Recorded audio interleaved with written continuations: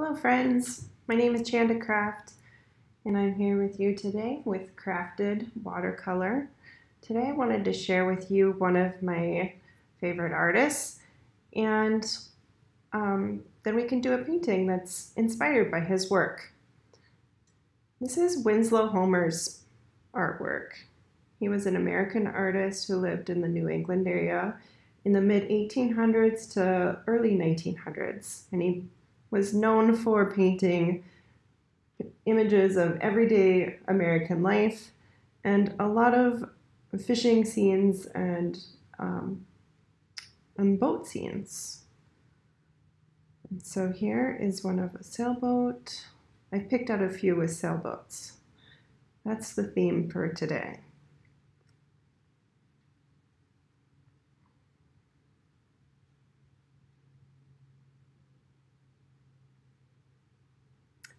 I really like the soft colors and all the those pretty blues that are in these paintings.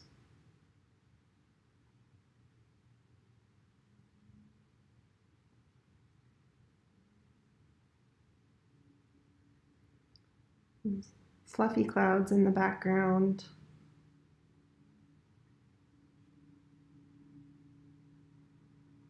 So that is our project for today, is to do a Winslow Homer inspired sailboat painting. I'm going to start by drawing my sailboat. And I'm going to have it located right about here. The first thing I'm going to do is have a straight line that comes down. And then I'm going to draw boat attached to that. So I'm going to have this at the top of my boat, about there, and have this sail. It's going to be like a triangle. Right here, and kind of a curved line to that spot there. I'm going to have this other sail filled with more wind. So I'm going to have it curving out a little bit more. So I'm going to do the inside line first. Like so. And then I'm going to have the front of the sail attached up here.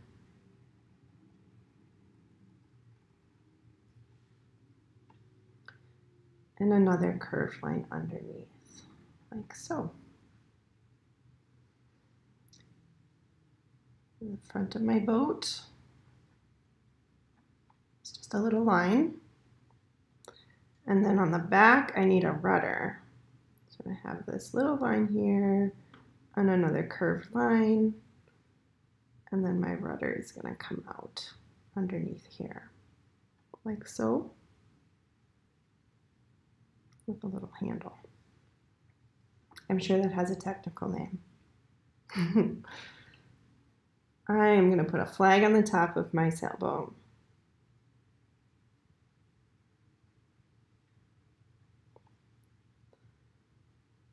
And maybe some stripes. Or you could do whatever design you like on your flag or on your sail. I'm just going to put some curved lines on here for stripes that I can paint later.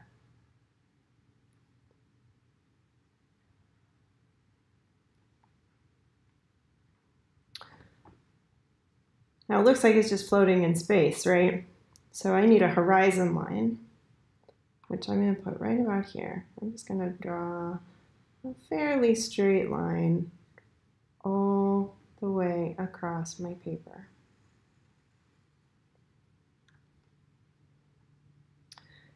And I think I'm going to have some waves. So my boat has somewhere to sit.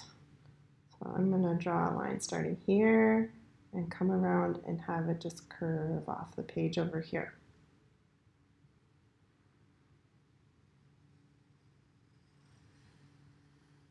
Like so. Maybe I have another wave in between this one and the horizon. So I'm just going to draw one more wave over here. It curves off over there. and probably one more in the front here.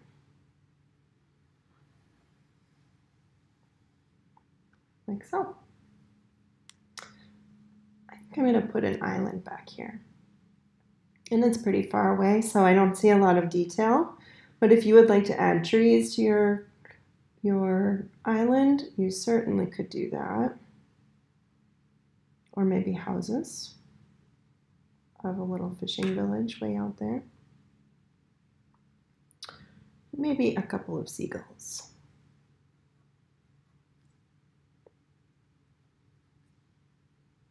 Mm, let's do one more right here. And with that, I think we're ready to paint. I have all of my supplies ready. My squirt bottle, a cup of clean water, my paints, and a couple of brushes. I still have paint dried on here from the last time I painted, and I think I would like to clean that up today. I'm just going to spray that lid and take a paper towel and just wipe all, all that dry paint.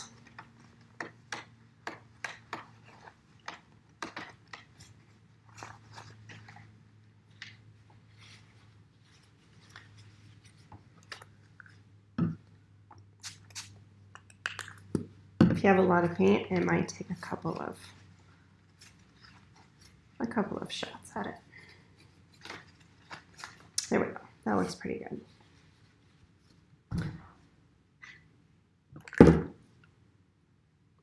I can get my paints wet, just a little bit, not soupy, remember. And I'm ready to get started. Now when I do a landscape like this, I like to paint the farthest things away first and then come forward. So the farthest thing away is going to be my sky.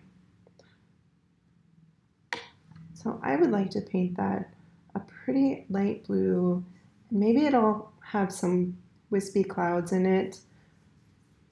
So my first step is going to be to wet my paper.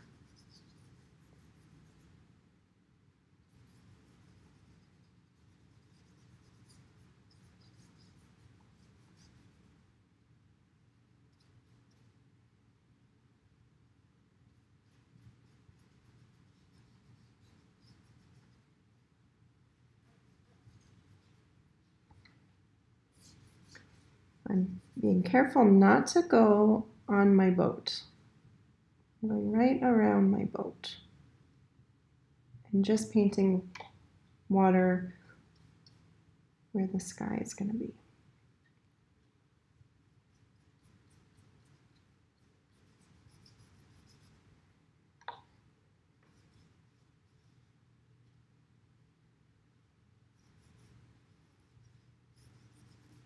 Remember, we wet the paper first when we want the paint to run smoothly.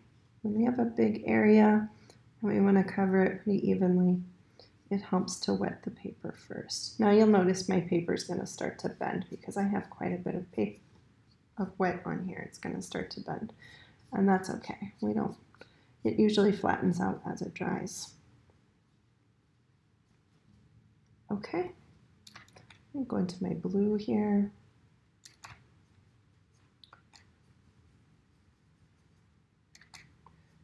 And I want the sky to be the lightest blue on my page. So I'm going to add quite a bit of water to this. I can test my paint on my paper towel to see how light it is. And then I can start putting it on my paper.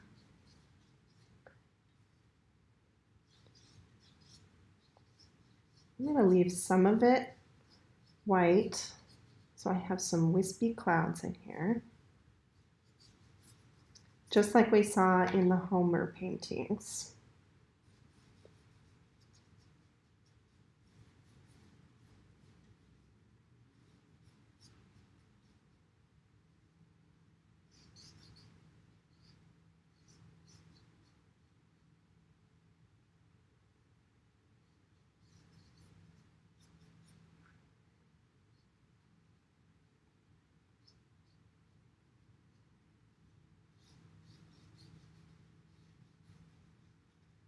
Something like that.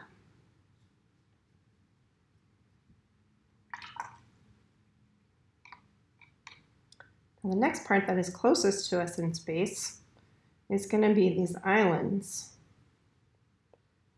So I'm going to go the little green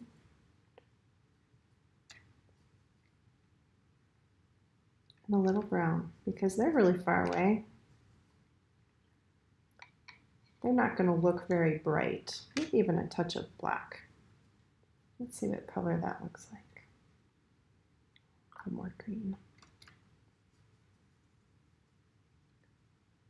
When things are closer to you, they look brighter in color. So that's why I'm added a little black and brown to that so that it doesn't look so bright. And that'll help make it look farther away.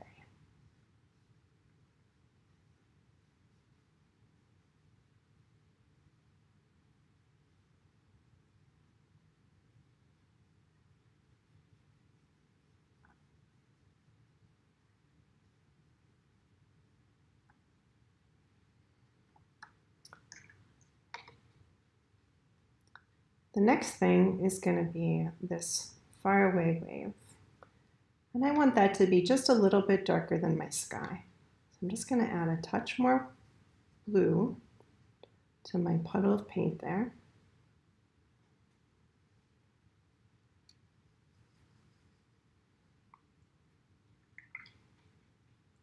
Again, I'm going to get my paper wet.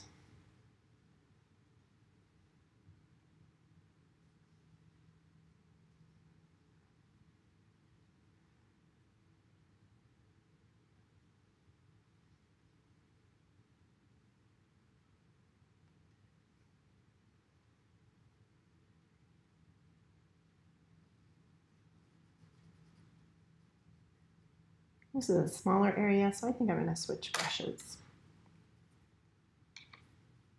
Get my brush wet first, then I go and pick up my paint. Yeah, that's a little bit darker than the sky color.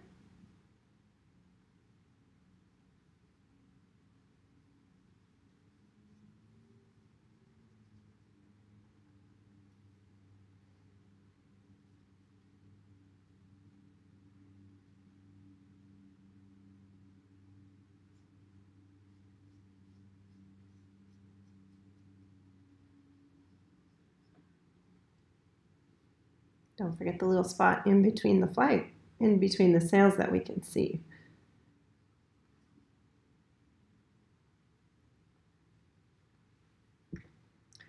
And my next wave is going to be just a little bit darker. So I'm going to add just a little more paint again to that. And I'm going to wet that next wave that's behind the boat.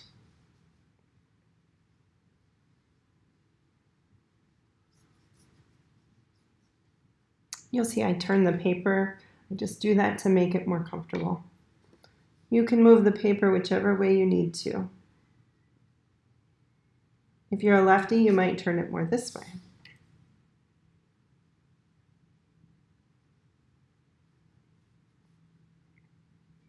You've even seen me turn the paper upside down sometimes.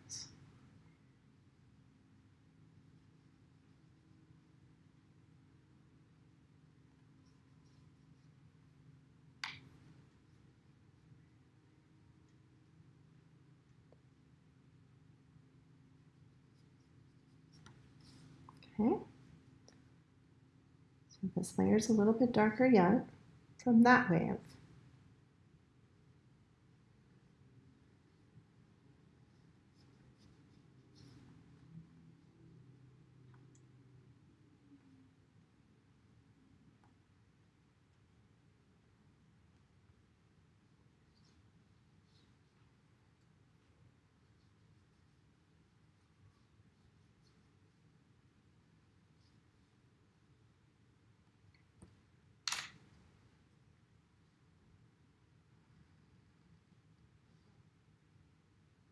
being very careful around my boat because I want to leave my sails white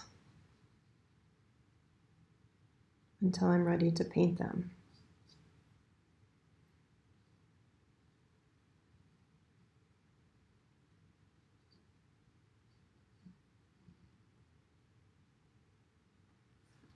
Okay. I'm going to skip the boat and come back to that later. I'm going to keep going with these waves until I finish that part. Now I have a really big space right here to paint. I'm going to carefully take my squirt bottle and I'm going to squirt just a couple very small spots there. Just makes it easier to wet that paper quicker.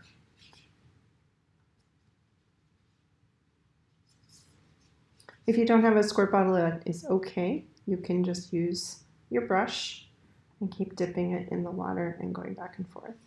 It's just a little faster to do it with the squirt bottle.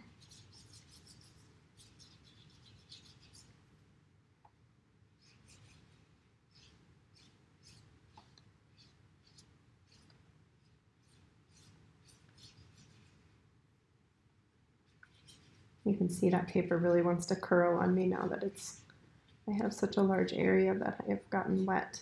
So you guessed it, this one is going to be a little bit darker yet. I'm going to add a little more blue to my puddle and I'm going to add just a touch of black to it.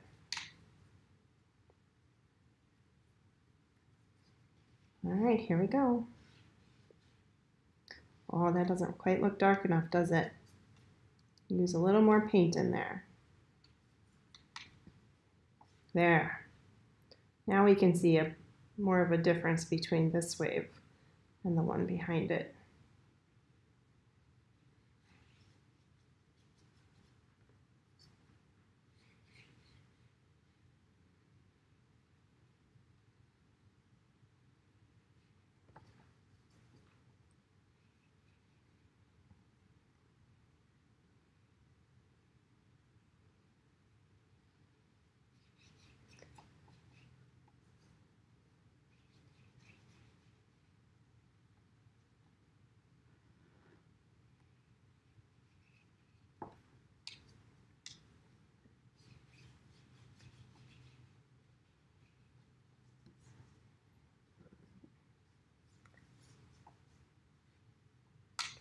Getting a little dry over here, so I added just a little more water.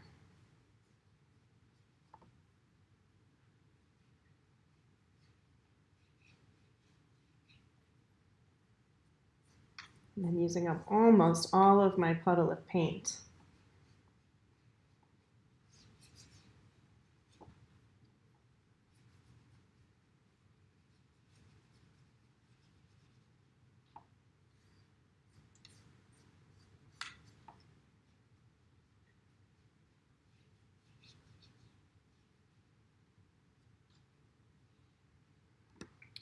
Go. And just one left. Mix a new puddle of paint for this. And that one is going to be my darkest one because it's closest to me.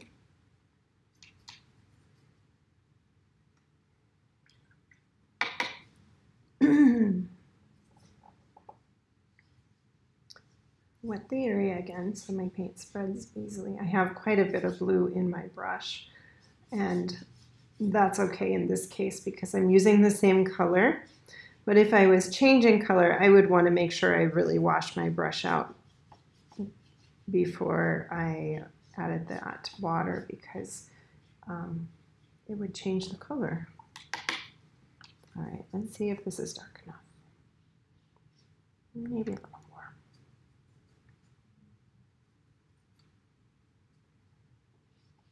There we go.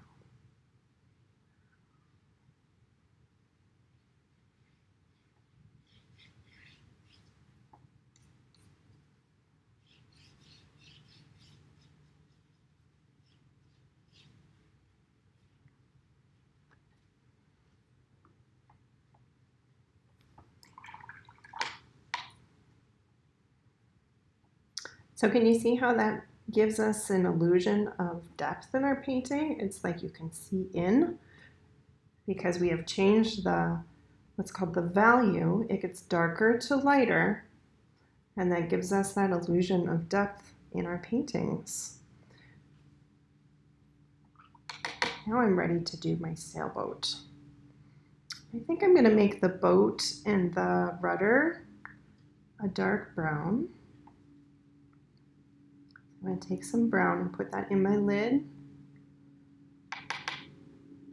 and some black and mix those together. Let's see what that looks like. That's very dark. Let's add a little more brown.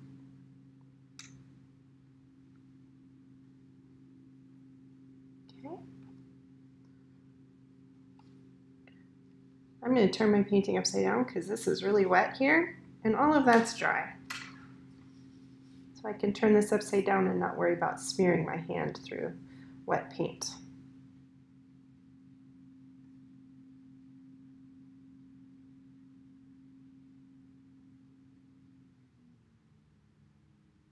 using just the point of my brush to get in these really small areas.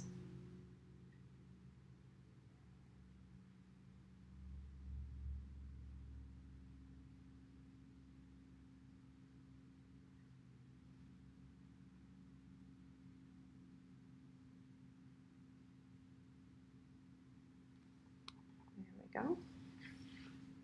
Turn it back around and see how that looks.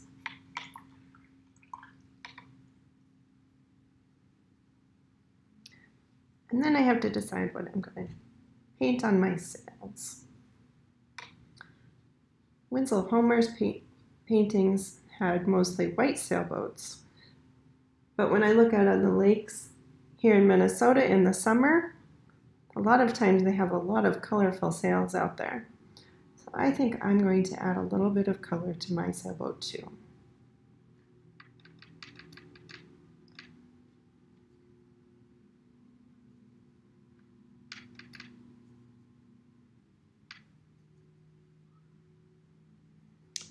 maybe this stripe right here. Paint that part red.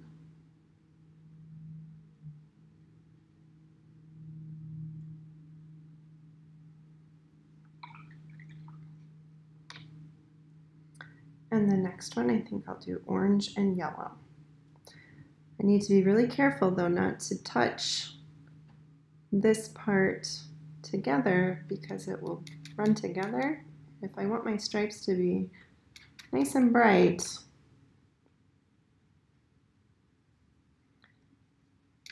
I'm going to want to let that dry just a little bit before I paint over, paint next to it. Just be very careful not to leave a little, a little gap there so that those two sections of paint don't quite touch. I can also just wait and let each layer dry. And then I don't have to worry about them running together.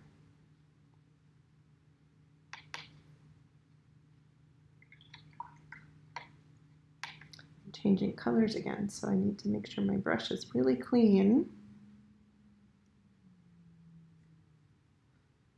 Get a little of this yellow paint.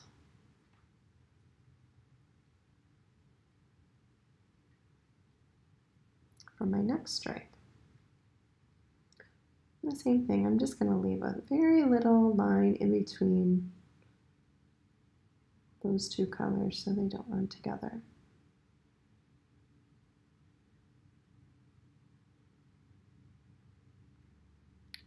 If I didn't want a line there, I can just wait for it to dry.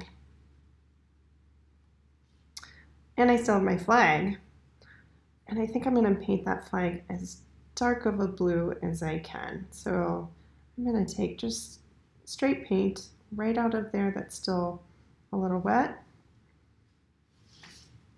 I'm going to paint my flag this really bright blue without watering it down.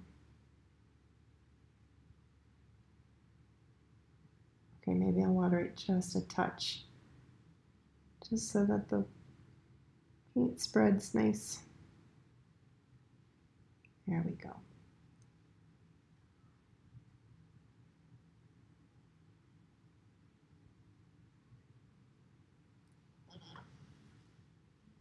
What do you think? That's our Winslow Homer inspired sailboat painting. If you would like to learn more about Winslow Homer and read a little bit about his life, I'll provide a link in the description below this video so you can read about him and look at even more of his artwork. Thanks for joining me.